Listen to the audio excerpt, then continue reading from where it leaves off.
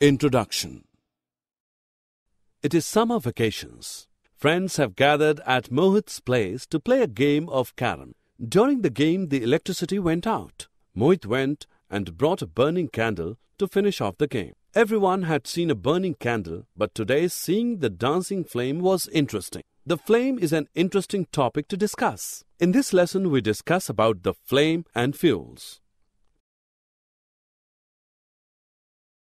Objectives At the end of this lesson, you will be able to explain the structure of a flame, define fuel and fuel efficiency, explain the harmful effects of burning fuel.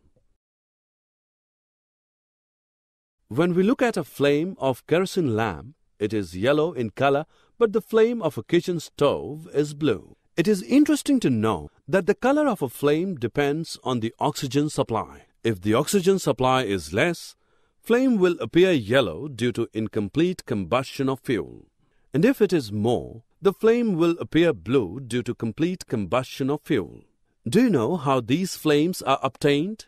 When we burn the candle with a matchstick, the heat of the matchstick melts and vaporizes wax, which rises through the wick and forms flame. A candle flame can be divided into three regions inner zone, middle zone, and outer zone.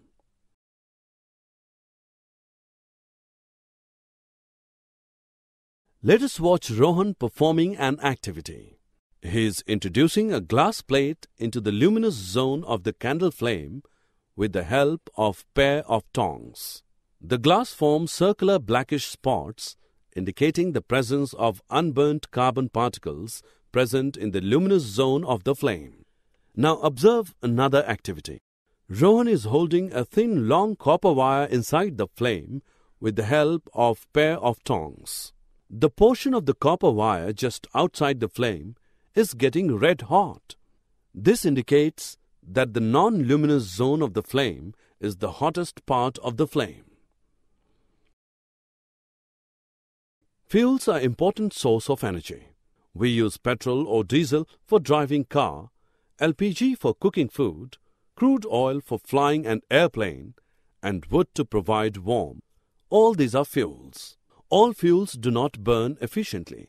Fuel efficiency is determined by its calorific value. The amount of heat energy produced on complete combustion of 1 kg of a fuel is called its calorific value and it is expressed in a unit called kilojoule per kg. Calorific value of LPG is more than wood or coal. That is why LPG is more efficient fuel than wood or coal. Fuels are important, but increased fuel consumption has harmful effects on the environment.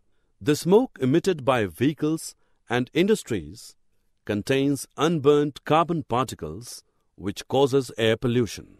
It is advised never to sleep in a closed room with burning coal fire in it, as the combustion of coal will be incomplete due to less oxygen.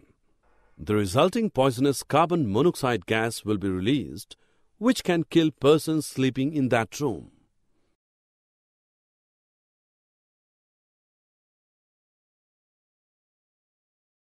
You must be aware of global warming. It is caused majorly due to carbon dioxide. The increasing concentration of carbon dioxide is due to combustion of fuels. Global warming leads to increased Earth's temperature. This will result in melting of polar glaciers, raising the sea level. It will result in flooding of the low-lying areas of the world.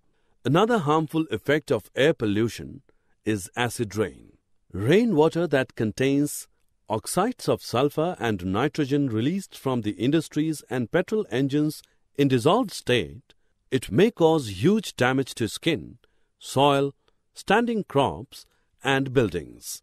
There are ways we can reduce negative impact on the environment by choosing the right fuel. A great example of this is cars, buses, and auto rickshaws that run on compressed natural gas or CNG instead of petrol. CNG is a much cleaner and cheaper fuel.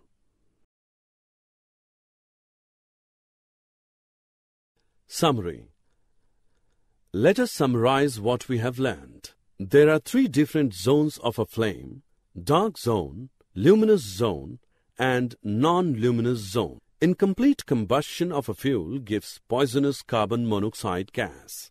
Increase in the concentration of carbon dioxide in air results in the rise of Earth's temperature.